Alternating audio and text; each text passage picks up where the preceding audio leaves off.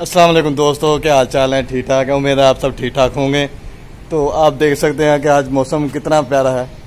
सुबह से बारिश हो रही है, बहुत ज़्यादा बारिश हो रही है तो मौसम इतना अच्छा है तो आपको पता होगा, अगर आप पाकिस्तान में रहते हैं कि जब मौसम अच्छा हो तो एक बात बुरी होती है।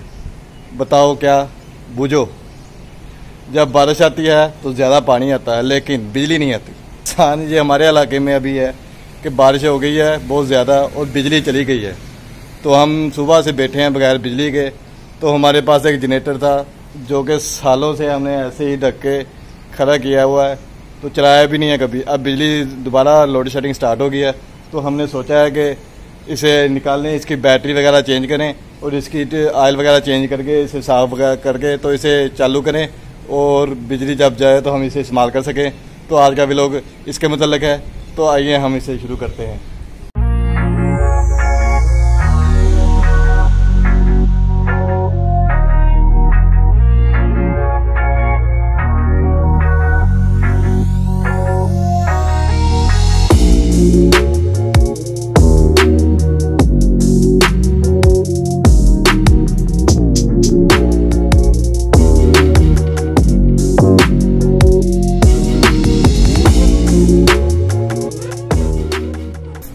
आज के औज़ार जो हमारे पास, एक ये पन्ना है, बारह का, और ये दस का पन्ना है, ये हमारे पास रेंच है, प्लास है,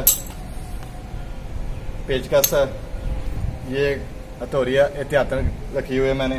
तो अभी पहले स्टेप ये है कि हम पहले बैटरी खोलेंगे, जो पुरानी बैटरी है, वो खोल के जाके बाज़ार बेचेंगे और पैसे डाल के नई बैटरी लेके आएँगे। तो पहला स्टेप तो हमारा ये है।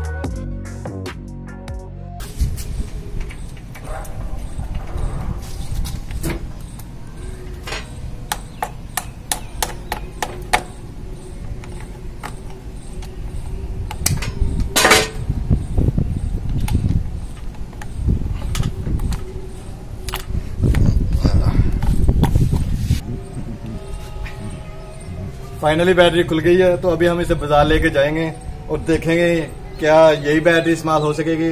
अगर नहीं हो सकेगी तो नई बैटरी लेके आएँगे। तो बाज़ार अभी चलते हैं।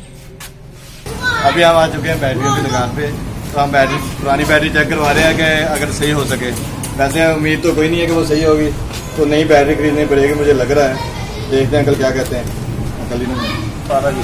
है? सारा क्या अच्छा। अंकल बता रहे हैं कि बैटरी पार्क है, बिल्कुल नई बैटरी लेनी पड़ेगी। अभी नई बैटरी लेते बैटरी हमने ले लिया तो पहले हमने थोड़ा सा इसे खोल लिया था, लेकिन अभी पूरा नहीं खोला तो अनबॉक्सिंग कर लेते हैं इसकी। इसके अंदर से ये पहले कहाँ निकलता है। ये इसका वारंटी कार्ड है। और अंदर आती है बैटरी। बैटरी को बाहर निकाल लेते हैं। नाजरी ये बैटरी है। तो अभी इसे दो घंटे लगेंगे चार्ज होने के लिए तो अभी हम इसे चार्ज होने के लिए यहाँ पे छोड़ देते हैं। तो बाद में लेके जाएँगे। तो अभी हम बैटरी भी लेके आ गए हैं और जनरेटर के लिए ऑयल भी लेके आ गए हैं।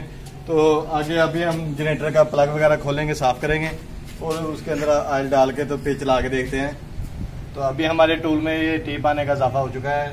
ये इसलिए इस्तेमाल होगा कि जनरेटर का हमने ऑयल निकालना है। जनरेटर दो से ऐसे ही पड़ा है। अभी देखते हैं कि आयल इसका कैसे निकलता है कैसा निकलता है।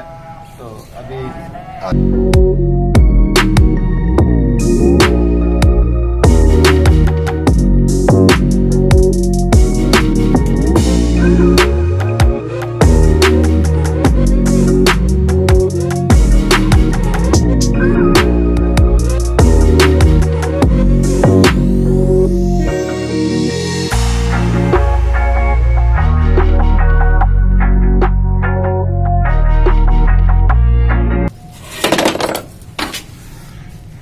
अभी कुछ ऐसी सूरत हाल है कि जनरेटर में से तेल निकला ही नहीं है।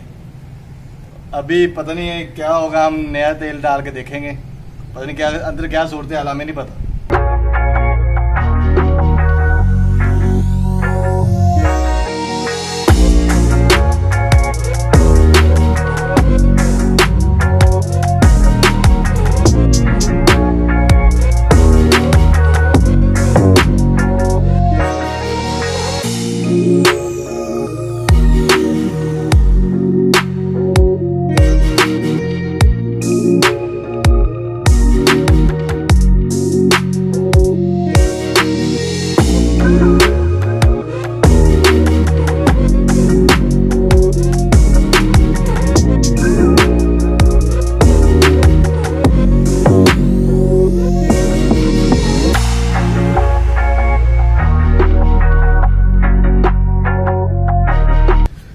ये सब कुछ तो हमने कर लिया आयल चेंज कर दिया, इसका आयल तो वैसे निकला नहीं है, नया आयल डाल दिया है, और प्लग भी मैंने साफ़ कर दिया अभी हम बैटरी फिक्स करेंगे, उसके बाद लगाना है हमने इसे गैस तो फिर देखते हैं चलता है कि नहीं चलता है।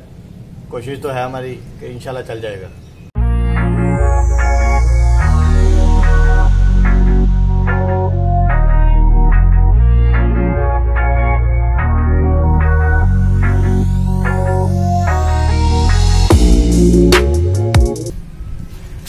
अभी सिर्फ़ बिजली के कनेक्शन रह गए हैं, हमने गैस वगैरह लगा लिया बैटरी लगा लिया अभी हम चला के देखने लगे हैं पहली मरतबा। पता नहीं क्या बनता है। बिस्मिल्लाहिर्रहमानिर्रहीम।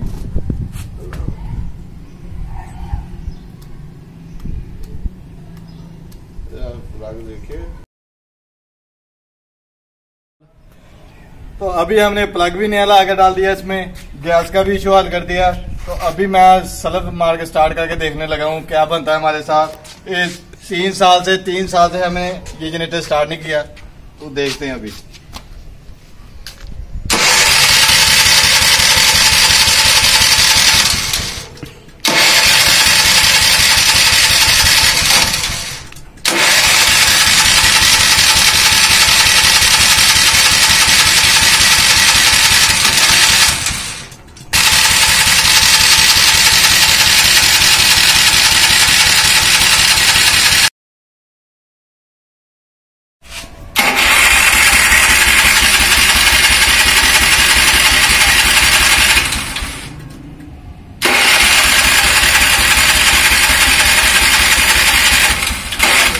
थोड़ा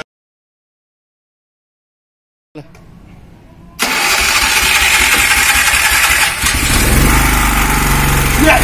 Yes! Yes! Yes!